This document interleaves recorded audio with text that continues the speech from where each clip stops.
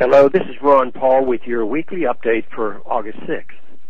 Last week, the House passed yet another bill placing sanctions on Iran and Syria, bringing us closer to another war in the Middle East. We are told that even harsher sanctions finally will force the targeted nations to bend to our will. Yet the effectiveness of previous sanctions teaches us nothing.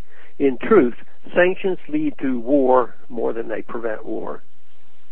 Until last year, Libyan sanctions were touted as a great success story. The regime would change its behavior. Yet NATO bombed the country anyway. Last week we learned that President Obama signed an intelligence finding directing the CIA to covertly assist rebels in Syria. The administration seemed determined to fight yet another war in Syria that has nothing to do with American national interests. We already know that a similar finding was signed under the latest Bush administration directing U.S. intelligence to undermine the Iranian government and promote regime change there. Neoconservatives have long demanded that we overthrow the Syrian government before moving on to war against Iran. This bellicosity continues regardless of which party is in the White House. In Syria, we once again see how our interventionist policies backfire and make us less secure. Recent news reports point to ties between the Syrian opposition and Al Qaeda and other extremist groups.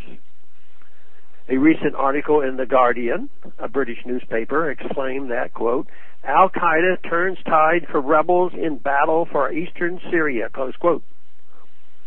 The article quotes an Al Qaeda leader in Syria saying that he meets with the main U.S. backed Syrian rebel organization, the Free Syrian Army, almost every day. So by promoting civil war in Syria, we end up fueling Al Qaeda. According to another recent press report, German intelligence services estimate that nearly 100 terrorist attacks have been committed by Al Qaeda or related organizations in Syria over the past six months. Last month, a suicide bomber in Syria killed a defense minister and several top government officials. The U.S. government which has been fighting a war on terror for more than a decade now, refused to condemn that act of terrorism. This raises the question on whether the U.S. administration is supporting the same people in Syria that we have been fighting in Iraq and Afghanistan. Secretary of State Hillary Clinton expressed these same concerns earlier this year when asked whether the U.S. has been reluctant to arm the Syrian rebels. She answered, To whom are we delivering them? We know Al Qaeda, Zawahiri, is supporting the opposition in Syria. Are we supporting Al Qaeda in Syria? That's a very good question. It clearly demonstrates that the United States has no business at all being involved in the Syrian civil war.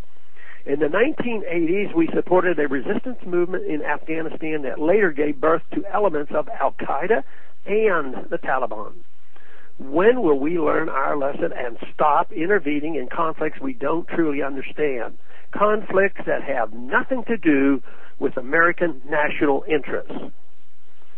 Thanks for calling. This written text of this update can be found on my website, www.house.gov slash Paul under the heading Texas Straight Talk.